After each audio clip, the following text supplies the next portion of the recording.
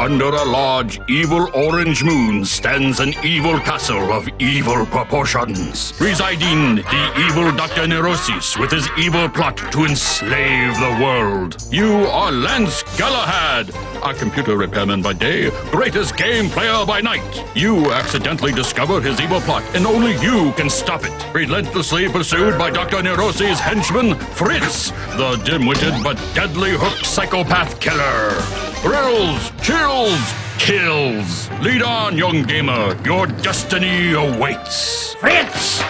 Find our foolish game player and kill him.